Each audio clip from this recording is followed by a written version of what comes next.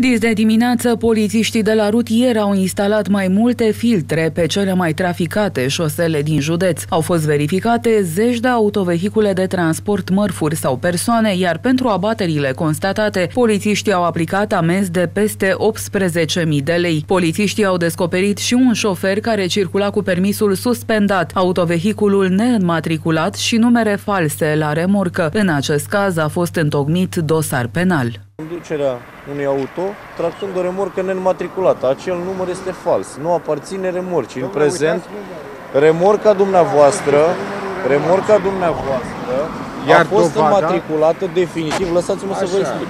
Remorca dumneavoastră a fost înmatriculată definitiv pe România cu număr de Hunedoara. Așa. Acel număr de Brașov provizoriu a aparținut probabil, după cum spuneți noastră, o dată, cândva. Da. Acel număr nu mai este valabil în data de astăzi, 15 februarie. Da, domnule, motiv dovada pentru asta, care, aveți dovada motiv pentru mână, care, da? aveți dovada, dovada asta, asta vă explic ieri, eu. Ieri un coleg de-al noastră mi-a luat numărul de pe remorcă. Exact, număr, Bun. plăcuța cu număr va, va fost reținut pentru o problemă. Plăcuța neconformă, nu știu ce problemă da, a fost acolo. Da, că a sărit vopseaua de pe aia, ce să-i fac, Probabil. să da. eu? E, din acel moment dumneavoastră nu mai aveați voie să circulați cu această remorcă pe drumurile publice. Este Dar ce trebuia să-i fac? Dacă aveam marfă, Vă întreb pe dumneavoastră, de camera aici. Este fără drept de circulație. Nu, nu, eu vă Activitatea de azi face parte din calendarul operațional TISPOL, iar verificările s-au desfășurat simultan în toate statele membre ale Uniunii Europene. Principalele obiective urmărite de poliții sunt respectarea legalității transportului rutier public sub aspectul capacității de transport, o conduită corectă în trafic și respectarea legislației speciale în domeniul transportului public de mărfuri. Dacă șoferii sancționați au considerat această acțiune de control ca fiind fără efecte benefice, Conducătorii auto găsiți în regulă au declarat că verificările periodice sunt un rău necesar. Da, Ați mai fost da. oprit așa? Da, bineînțeles, da, da. Ați respectat întotdeauna?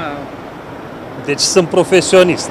O spoială așa, cred că este o spoială. Pur și simplu ce trebuie făcut, trebuie uh, sesizat uh, Direcția Generală a Poliției ca să intensifice controlele astea de care, nu controlele, patrulă pe timp de noapte, efectiv, nu există așa ceva. Această dimineață am efectuat o activitate pe linia verificării legalității în transportul de marfă și persoane, în cadrul uh, acțiunii TISPOL la nivel european, care se desfășoară în această săptămână. Urmărim uh, verificarea stării psihofizice a conducătorilor auto, a documentelor existente și necesare a fi la bordul acestor tipuri de acestor autovehicul.